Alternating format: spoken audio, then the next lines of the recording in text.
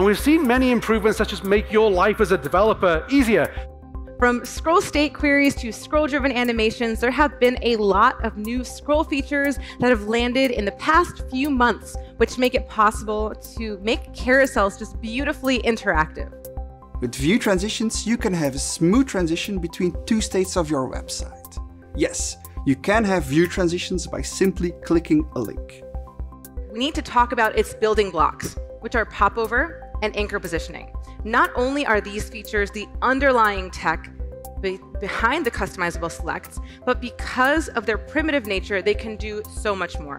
Which brings me to the magic of interest target. If you saw the developer keynote, you saw this in action. This is an early stage origin trial feature, so know that it is subject to change, but it really packs a lot of power. But the platform is changing far more rapidly today than it ever has done. If we take a look at the platform as a whole, the truth of the situation is that features are going from one browser to available in all browsers much more quickly than ever before. This means less code craft, better performance, built in accessibility, and more time for you to innovate and focus on the fun stuff.